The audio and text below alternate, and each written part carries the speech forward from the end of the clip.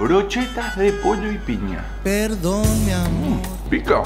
La piña sin envoltorio, cortada en cubos. Cubitos de pechuga, panceta. Envolves cada cubito con una panceta. Palitos de brochet, pollo con panceta, piña, pollo con panceta, piña. Si te gusta el picante, le pones un ají. De acá, limpiar la parrilla. A las brochetas en una parrilla bien caliente. Y dejas ahí quietito por 10 minutos y 4 segundos. Y al costadito, asaditos de pollo con panceta. Estos son por las dudas. Sal, pimienta. Y lo dejas ahí quietito por 8 minutos y 6 segundos. Dar vuelta. ¡Qué belleza! Y dejas ahí unos 9 minutos con 2 segundos. En un recipiente, jugo de una naranja, sin semillas, y un chorrito de salsa de soja. Bien mezcladito. Pintar con la salsa de soja con naranja. Dar vuelta. Vas a dejar 2 minutos y 1 segundo por lado. Dale.